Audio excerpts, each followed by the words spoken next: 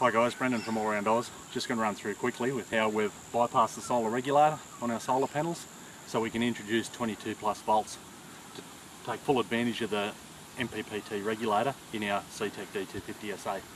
Very simple process. Whether you've got one, two, three, four, five panels, they're all joined together. Just pick one of these control boxes. Very simple. Red wire to red wire, black wire to black wire, positive to positive, negative to negative. Don't cross polarise them. 22 plus volts. Don't hook that up into your normal car. Put a red Anderson oil lead on it. Grey one, they physically won't hook up. They don't match. You can't put that into a normal Anderson plug. So we've made up an extension lead with red plugs on it so we can put our panels wherever we want. But we can still use the 12 volt side of it as well. So this, this set of panels will do 12 volt and 23 volt. At the moment here, these panels aren't even facing the sun. Multimeter here, we grab the probes quickly. We've got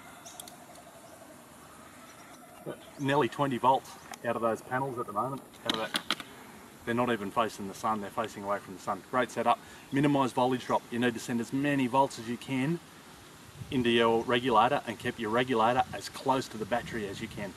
Our D250 SA is this far from our, our main battery. The whole aim of the game is to get power back into your batteries so you can stay out there and do what you want to do, what you love doing, and do it for longer. Hope that makes sense. Any questions in the comments below?